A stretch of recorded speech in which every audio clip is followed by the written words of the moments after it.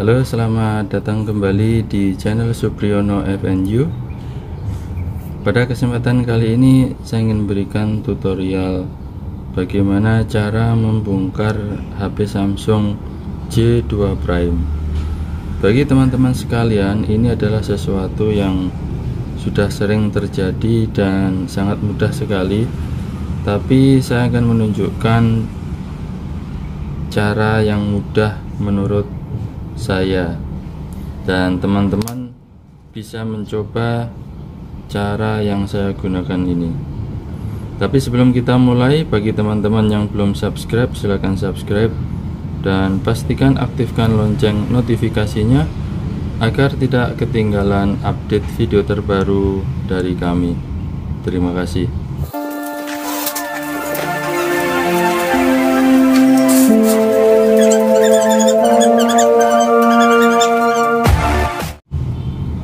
ini Samsung seri J2 Prime. Jadi ini saya membongkarnya karena LCD nya rusak dan harus diganti. Oke langsung saja kita mulai untuk membongkarnya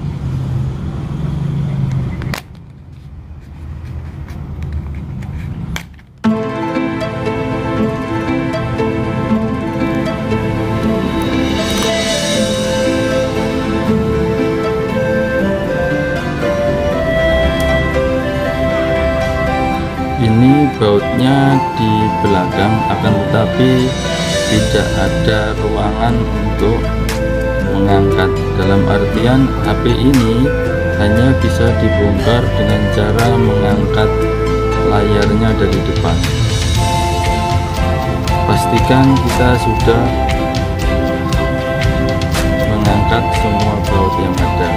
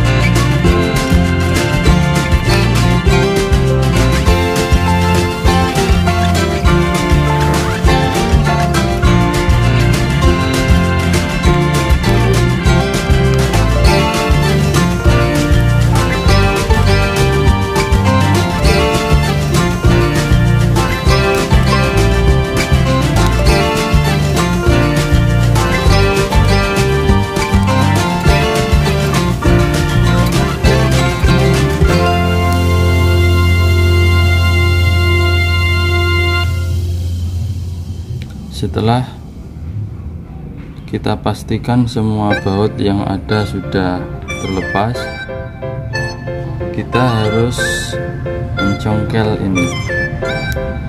Ya. Ini tutup. Di sini tempatnya konektor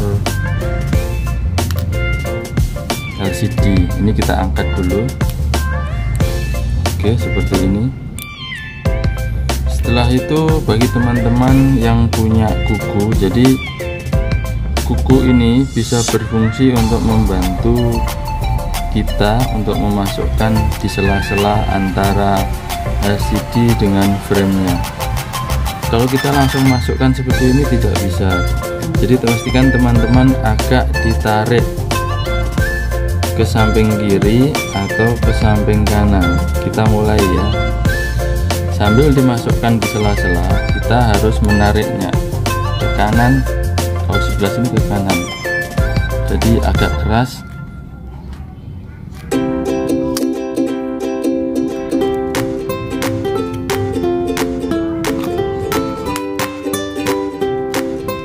Ya setelah kita tarik ke kanan atau ke kiri ini kita kita punya celah untuk mengangkatnya. Jadi jari tengah ini berfungsi untuk membantu mendorong ke atas sedikit. Nah, seperti ini. Sambil kukunya kita tetap masukkan di celahnya. Sambil kita dorong ke atas. Agak sedikit pakai tenaga ya teman-teman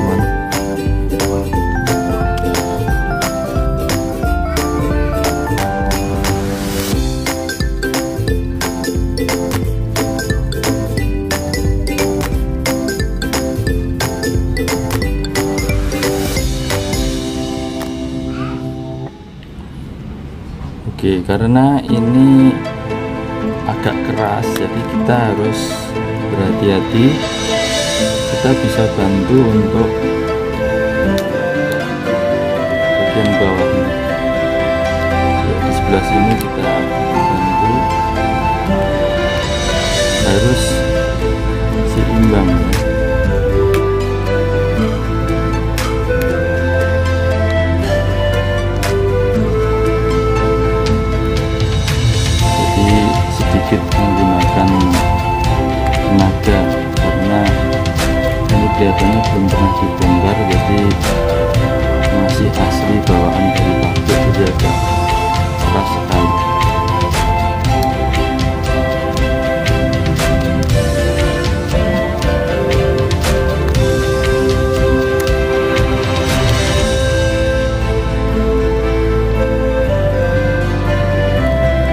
Oke, kita berhasil untuk melepas LCD ini teman-teman.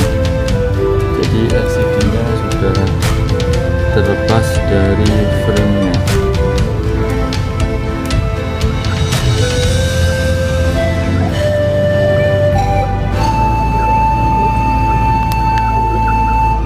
bisa membongkarnya ini atau kita cukup untuk melepas LCD nya karena LCD nya sudah terlepas dari bodinya kita tidak perlu untuk melepas framenya ini terpisah dengan mesinnya.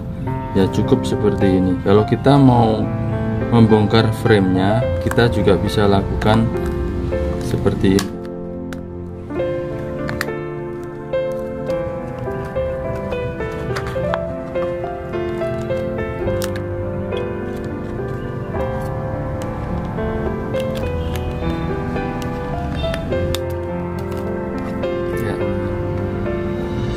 kita sudah bisa memisahkan antara frame dengan mesinnya seperti ini.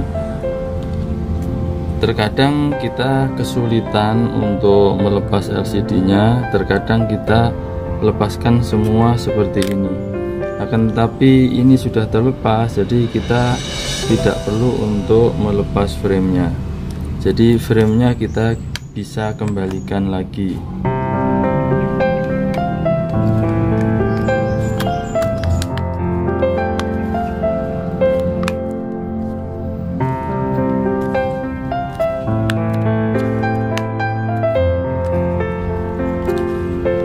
pastikan sekeliling body kita tekan agar posisinya tepat. Oke jadi ini frame sudah menyatu kembali dengan mesinnya.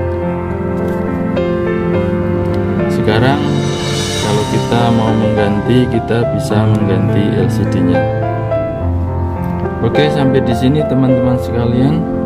Terima kasih telah menyaksikan dan sampai jumpa di video selanjutnya. Bye bye.